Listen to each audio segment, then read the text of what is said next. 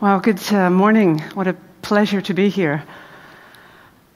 It's quite exciting for a scientist uh, to be here in a, in a, in a, at an occasion like this, uh, in, a, forum like this, a venue like this, uh, trying to tell you a bit about our very, very young project on determining whether or not microplastics actually get into the fetal environment, and if they're in the fetal environment, do they actually cause effects there?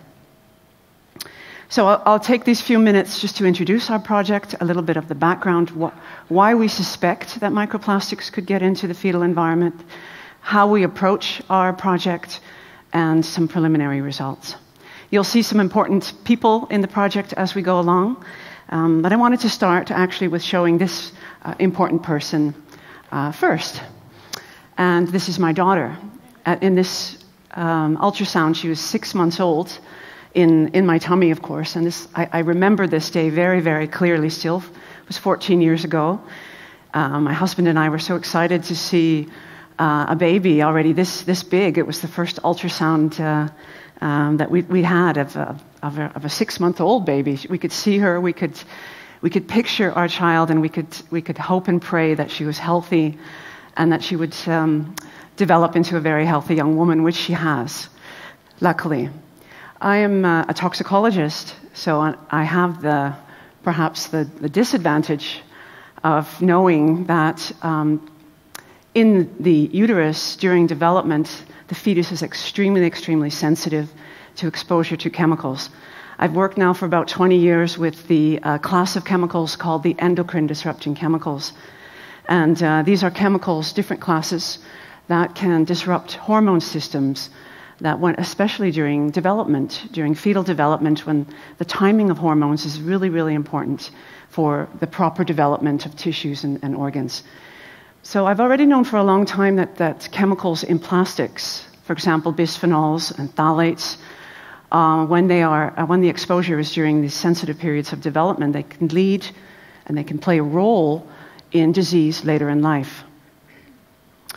So, when thinking about microplastics, and I'm very new to the field of microplastics, I, of course, am asking the same questions that I asked already in the last 20 years. Are these microplastics making it to the, to the fetus? Uh, are the chemicals that are in the microplastics leaching?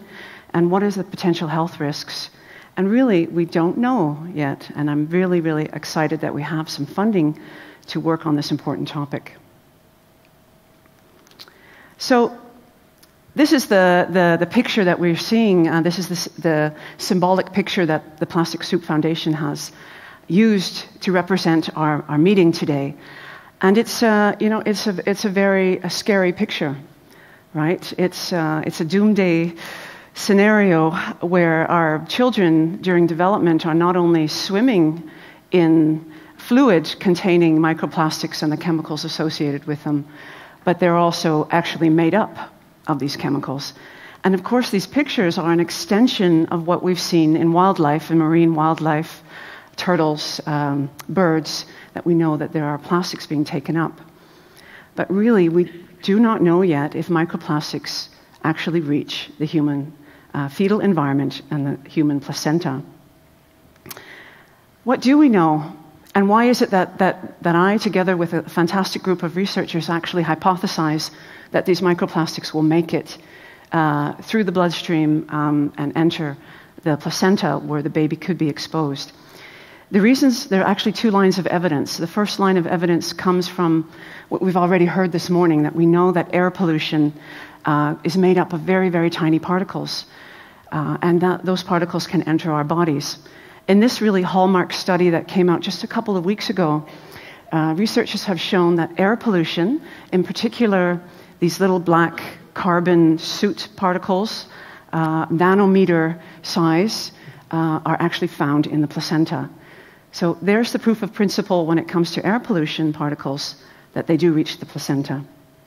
We know also from animal studies that um, when we inject mice, pregnant mice, for example, with uh, polystyrene beads, uh, we inject them in this study only four hours after the injection of the pregnant mice. Um, these fluorescent particles, fluorescent plastic particles, made it to the placenta and not only were present in the placenta, But what you can see here are these little uh, fluorescent uh, beads showing up in the fetal brain, in the fetal liver. So animal studies are giving us indications that indeed our hunch may be right, that these microplastics might make it. But I would like to re- reemphasize that we really don't know yet for humans, and we really need to answer these particular questions. So we need to know uh, do the microplastics reach the, the placenta and, and the amniotic fluid? So here you see the human fetal environment, very much simplified, with the baby in the, in the, in the uterus, um, the placenta, which forms the, the really, really interesting organ that's really temporary organ, only, only formed during pregnancy, that gives the baby all of its nutrition, uh, important for metabolism of steroids and other um, molecules, important for the elimination of waste out of the baby in, in, into the mother and, and out of the mother. And the amniotic fluid being that, that, you know, the water surrounding the baby, really important for cushioning the baby, uh, also for, for metabolism, um, elimination of waste products. We know that if a microplastic would enter the, the amniotic fluid through the placenta, the baby would be directly exposed. The baby swallows that amniotic fluid constantly and pees it really, really out again. So we need to know um, is it in the placenta? Is it in the amniotic fluid? Because then we know there is real fetal exposure. And we also need to understand if those placentas, if those particles make it into the placenta, will they cause harm? Uh, and will the chemicals that are associated with them cause harm? So, those are the main research questions in our project. We started about four months ago, so it's very early for us. What we did was we got together uh, a very multidisciplinary team of scientists. And as, as Dick Vethaak said this morning, the only way to approach these complex questions is to get people with different expertises together, working together. So, what we have here is an, an extraordinary team. We have a, a, pediatrician from the Dijklander Hospital in Hoorn, uh, Gavin Tentusser. He is collecting, as we speak, uh, collecting uh, placentas and uh, amniotic fluid samples from women who are delivering babies under his care. Uh, he's providing those placenta and amniotic, amniotic, fluid samples to our chemists. We have different groups of chemists involved um, Marja Lamoree and Heather Leslie from the VU University in Amsterdam, and Douglas Walker from the Icahn School of Medical School in Mount Sinai in the US. Two, chemi- two chemistry groups using their own specific sensitive methodologies to measure these microplastics in placenta. We have Dick Vethaak giving us, providing us um, the most environmentally relevant plastic particles. As you heard this morning, we need to be looking at the particles that uh, we are exposed to as humans. And so Dick's group is taking different kinds of plastic particles and weathering them and providing them to us, the toxicologists in Utrecht, um, to look in placenta cell cultures if these really environmentally relevant particles um, enter the placenta cells and may cause effects there.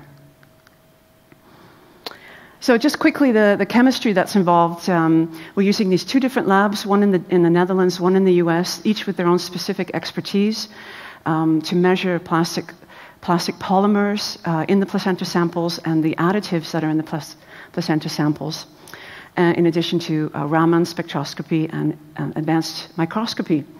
So we can compare methods, we can find out which method is the most sensitive, uh, to quantify these plastics, and we're still busy developing methods and collecting our samples, so I'm afraid I have no results yet. In our lab in Utrecht, thanks to some additional funding from ZonMw, we've been able to team up with our imaging facility in our university. They have really the best mic- microscopes, the really high power microscopes that we need to image these placenta cells. These are human placenta cells that we can culture on a, a petri dish and we can expose them to different plastic particles, and we can look at if the placenta, human placenta cells take up those, those particles and if they cause any da- uh, damage or harm to the uh, placenta. So, this is a 3D image that just uh, was created yesterday. Uh, I've, I've, got to explain it to you. Uh, maybe I'll show you it to you in a moment. Uh, again, so those little pink balls are actually polystyrene 200 nanometer beads that we have um, added to these placenta cells in, in a petri dish. And um, we can, this, this way, we've actually been able to show that these placenta, sorry, these particles are inside the placenta cells. These are placenta cells. The yellow coloring shows the protein in the cells. The blue color is the, is the nucleus of the cells. So if I, if I can maybe show it one more time, I don't know if it's going to work. I love this. Uh, this is really hot off the, hot off the, the press. Uh, students have been working all week to, to, to show that those little, watch them now, the little pink polystyrene beads get take are really inside the cells. They're not on the membranes. They're not on top of the cells. They're really taken up by the cells. So for us, this is really the most important first step in understanding. Um, okay, so the particle gets into the cell. What what happens to the cell afterwards? How does it react?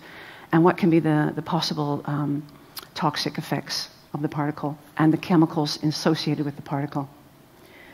So really, to understand the risk of microplastics to the human placenta and the human fetal environment, we need to follow all of these steps.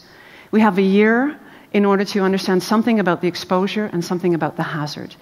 It's a first step, um, and it's really crucial in order to understand more about this potential risk. And if indeed this is a scenario that we could really see as a realistic scenario uh, if we continue to go on the way we are now. So let's do take care of the next uh, generation by continuing this research, by continuing what you're all doing. And I really wanted to thank uh, the team working uh, with me on this, and to thank ZonMw in particular for funding this really high risk uh, but really exciting research. Thank you very much.